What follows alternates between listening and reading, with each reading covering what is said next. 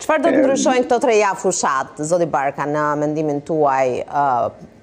gati 4 javë, çfarë do të ndryshojnë? 19 vota ishin në thelb ato që ndanin socialistët ose opozitën dhe maxhorancën në 14 maj të vitit të shkuar.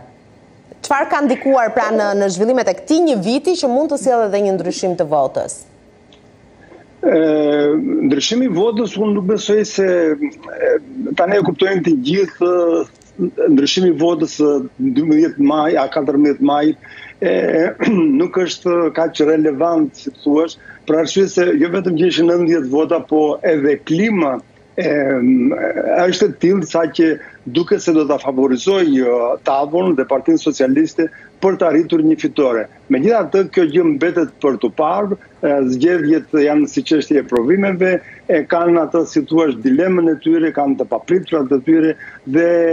kuptohet që çdo gjë mund të mund të ndodhë. Por, duke u nisur nga ato që thashë edhe pak më përpara, duke nisur nga fakti se Partia Socialiste dhe sidomos kryeministri Rama e shikon atë si një sfidë personale tani, një sfidë personale jo ndaj mbajtjes së Himarës nga Partia Socialiste, por nga një sfidë më e gjerë duke patur parasysh dhe marrëdhëniet Shqipëri-Greqi. Besoj se Rama do të investojë në këtë gjë, në njëjtën kohë do të investojë jashtëzakonisht shumë për të mos krijuar pikëpyetje dhe të çara, ndërkohë që, siç thashë, opozita duket e papërgatitur, madje madje ka edhe shenja që tregojnë se edhe mund t'i bojkotojë këto zgjedhje, prandaj dhe amplifikohen kaq shumë pretendimet dhe problemet në këtë drejtim. E problemi tjetër është që nuk ka një kandidaturë e cila të tërheqë, nga opozita kuptohet, e cila të mund të tërheqë